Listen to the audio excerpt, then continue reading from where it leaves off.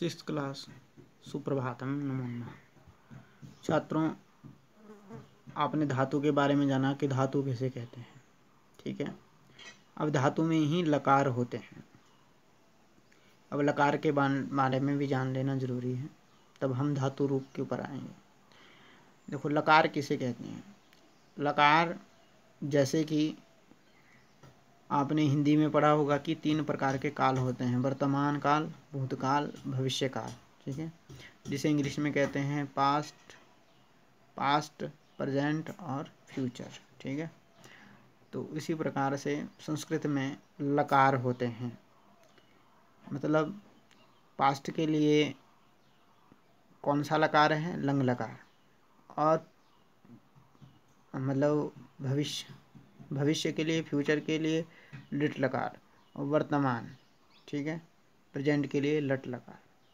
ये संस्कृत में, और बाकी आज्ञार्थक मतलब आज्ञा देने के लिए लोट लकार, और चाहिए के अर्थ में विधिलिंग लकार, ठीक है? तो इस प्रकार से यह पाँच लकार होते हैं।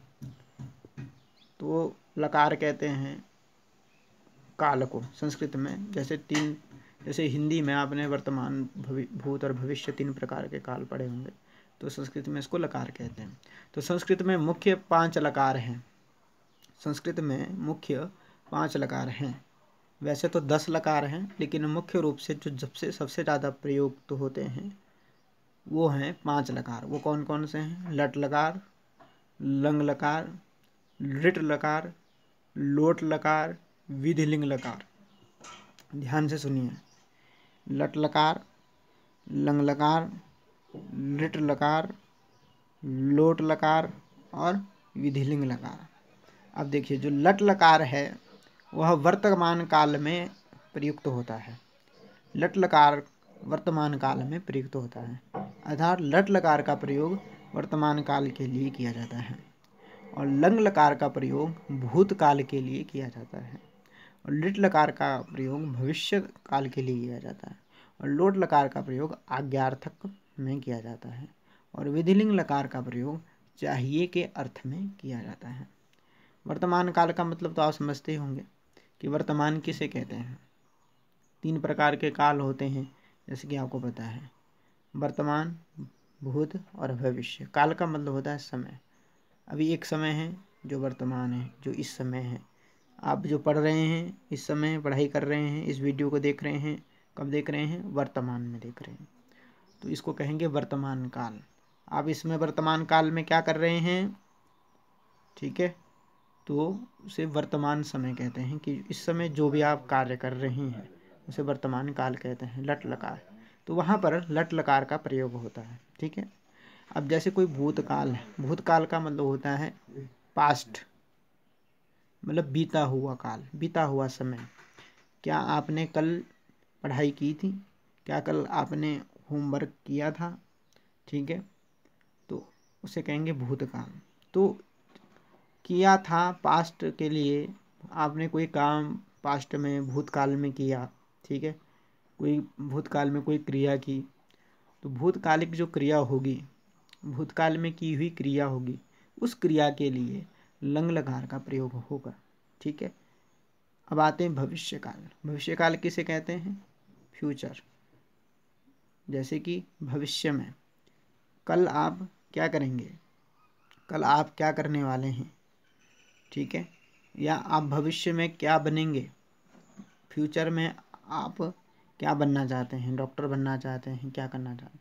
तो ये भविष्य काल हुआ। ये भविष्य का समय है। फ्यूचर का समय है। तो फ्यूचर में कोई आपकी प्लानिंग है, फ्यूचर में आप कोई क्रिया करना चाहते हैं, फ्यूचर में कोई कार्य करना चाहते हैं तो फ्यूचर के लिए किसी काल फ्यूचर के लिए, भवि, भविष्य के लिए जो काल का प्रयोग होता है तो भविष्य काल के लिए लिट लकार का प्रयोग किया जाता है। तो भविष्य काल में कोई क्रिया करने वाले कि भविष्य में मैं मैं अध्यापक बनूँगा, भविष्य में मैं डॉक्टर बनूँगा तो भविष्य में आप कोई क्रिया करने वाले हैं तो भविष्य के लिए फिर लिट लकार का प्रयोग होता है, ठीक है? फिर आज्ञार्थक पे आ जाते हैं। आज्ञार्थक का मतलब होता है आज्ञा का अर्थ, ठीक है? जहाँ पर आज्ञा लेनी होती है। जैसे आप क्लास में टीचर से बाहर जाने के लिए या अंदर आने के लिए पूछते हैं, पूछना, ठीक है? किसी कार्य करने के लिए पूछना। किसी से आपको कोई ना कोई चीज़ आपने अपने माता पिता से भी घर में कुछ पूछते हैं। तो पूछने के अर्थ के लिए लोट लगार का प्रयोग होता है, ठीक है? ये होता है आज्ञा अर्थ आज्ञा लेना या देना, या किसी को आज्ञा देनी भी है तो वहाँ पे भी लोट लकार का प्रयोग होता है। फिर विधि लिंग। लकार जो विधि लिंग का प्रयोग होता है, वो चाहिए के अर्थ में होता है कि आपको क्या चाहिए, ठीक है? मुझे ये चाहिए, मैं ये चाहता हूँ, ठीक है? मुझे इस वस्तु को चाहिए, या हम दोनों को ये वस्तु चाहिए हम तीनों को वस्तु चाहिए। तो जहाँ चाहिए का अर्थ होता है, वहाँ पर विधिलिंग लकार का प्रयोग होता है। तो संस्कृत में मुख्य पाँच लकार होते हैं, आप लोगों को याद कर लेने हैं इनका नाम।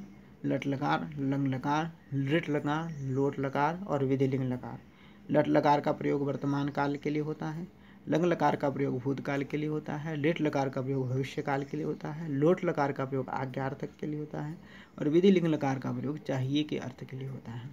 तो इसको आप याद कर लीजिएगा। ठीक है? धन्यवाद।